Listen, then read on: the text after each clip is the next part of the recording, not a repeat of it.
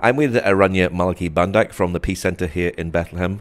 Have you had a busy year, Ranya? I think you can tell from your many telephone calls and visits that you know I have a very busy schedule this year. And are you busy over Christmas this year? It will be much busier this year.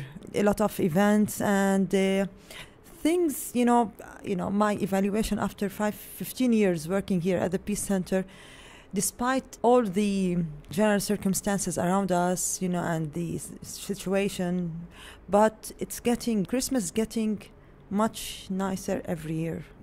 People are coming from different parts of the world. Last Saturday, you know, I know that you know Indian people coming to um, to Bethlehem every year, but we are seeing a lot of different nationalities coming. Uh, for example, you know, on Saturday it was like an invasion from India coming to Bethlehem. It's very nice, you know, seeing people how like happy see, coming to Bethlehem and how enthusiastic coming here to the manger square, taking picture in front of the Christmas tree. It's very nice, and we are like happy to have more and more people coming to to Bethlehem this year.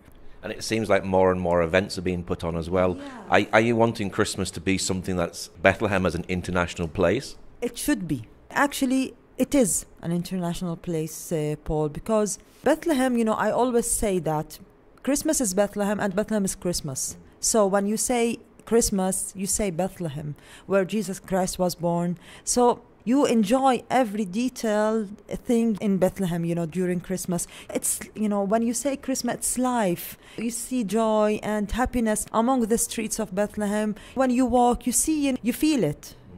And of course, it's you know it should be an international Christmas here. Everybody should come and celebrate Christmas in, Christmas in Bethlehem. We hope we can you know have more people coming and staying during Christmas uh, in Bethlehem. And what special events do you have on this Christmas? Well, as you can see, we started with the Christmas market, and this year we had extra countries participating in the Christmas uh, market on the 27th of November and the first Advent. And of course, the tree lighting ceremony it was extraordinary. It was. It was actually really wonderful, wasn't it? It was. It was really, really nice. And um, of course, now you can see the parade, the parade that's going in Bethlehem know, streets, which is very, very nice from the um, company Media Plus, and we do cooperate with them. Of course, we have now on Manger Square, as you can see, the uh, Christmas Village now you know media plus also is working on it and they, we do cooperate because our location a strategic place you know on Manger square every event that takes place on Manger square they should cooperate with us because we, we have the venue and they use it. So we are giving, you know, like a help to every, you know, body who wants to celebrate Christmas and arrange events on Manger Square. Is this the very first time to have the Christmas village here in yeah. Bethlehem? Yeah, this is the first time, and uh, we are looking forward because in like uh, two three days the opening of the Christmas village, and it ha- it will be having a lot of uh, new things, you know, like different sections with a Santa village. It's it's something new. Uh, you know, I don't want to give extra information about it. You know, the one who is responsible, you know, is Juliana Juliana Hodali. She will give you more details about it and it's going to be very very exciting for the children to see that yes, as well. Of course of course. Ask uh, many people are asking about what's going on on Manger Square. What is this? What is this?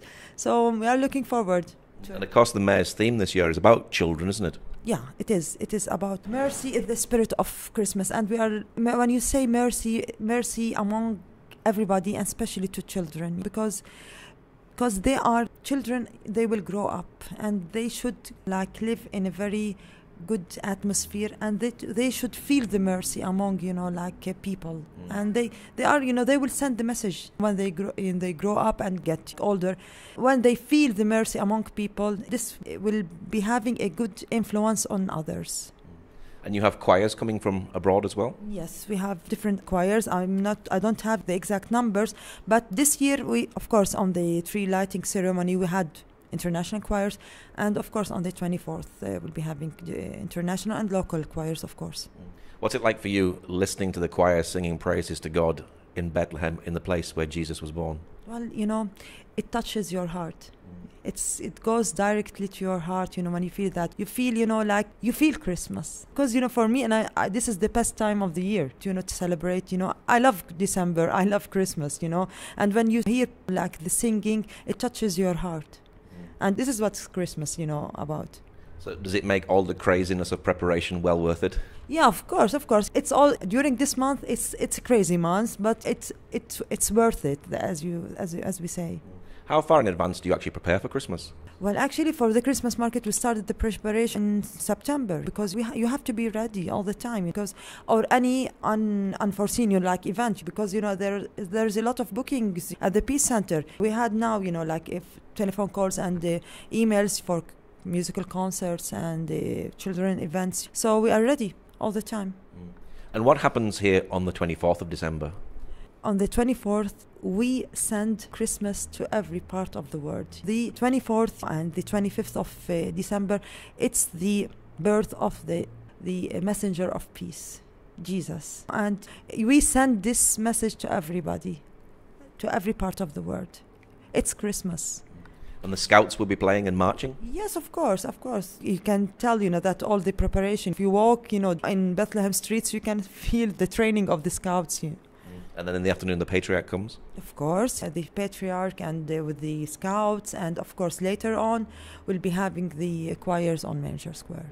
And then finally, finish off with Mass in the church? Of course, of course, you know, and uh, of course we will be working till midnight because many people will be coming. We hope this, you know, the weather will be okay. So as you know, we won't be having like uh, this uh, jab. People will enter to the peace center, so we welcome people to enter. You know, because we are the, as I said, this strategic in, in a strategic point uh, on Manger Square.